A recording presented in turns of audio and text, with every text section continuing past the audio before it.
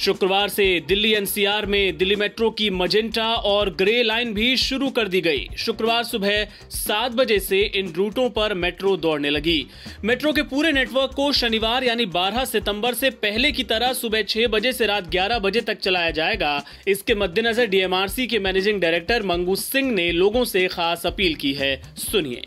Delhi metro में यात्रा करने वाले मेरे सभी साथियों जैसा कि आप जानते हैं कि कल से दिल्ली मेट्रो की सर्विसेज़ सभी लाइनों पर चालू हो जाएँगी। नॉर्मल टाइमिंग्स हैं, उस पर सर्विसेज़ अवेलेबल रहेंगी कल से। लेकिन मैं आपका ध्यान इस ओर दिलाना चाहता हूँ कि सोशल डिस्टेंसिंग नॉर्म्स के चलते जो हमारी कैपेसिटी है मेट्रो की, वो काफ़ी रिड्यूस्ड हो गई है।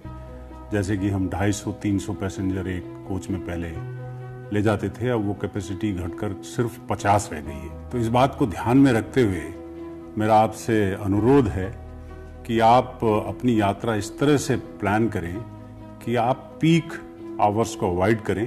अगर आप ऐसा करेंगे तो दिल्ली मेट्रो आपको अच्छी और बेहतर सुविधा और सर्विस प्रदान कर सकती है, क्योंकि उस सिनेरियो में हम ज़्यादा लोगों को कैरी कर सकते हैं, ज़्यादा पैसेंजर्स को कैरी कर सकते हैं। मेरी सारे एम्प्लॉयर्स से भी ये प्रार्थना है कि वो अपने ऑफ़िस टाइमिंग्स थोड़ा स्टैगर कर लें और जो उनका एम्प्लॉय हैं, उनको वो अलाउ करें कि वो टाइमिंग्स अपने एडजस्ट करें पीक आवर्स को बचाने के लिए। और अभी ये ना समझें कि सब कुछ नॉर्मल हो गया है।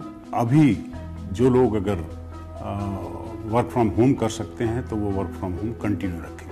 तो मेरी ये आपसे अनुरोध है, दिल्ली मेट्रो की बेहतर सेवा बनाने में आप हमारा सहयोग करिए। मैं एक बार फिर से ये अपील करना चाहता हूँ आप सबसे कि आप इस पीक को ब्रेक करिए।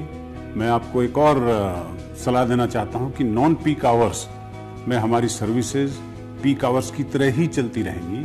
तो जो वो कैपेसिटी अवेलेबल है नॉन पीक आवर्स में, उसका आप लाभ उठाइए, पीक को ब्रेक करिए और बेहतर सर्विस पाइए।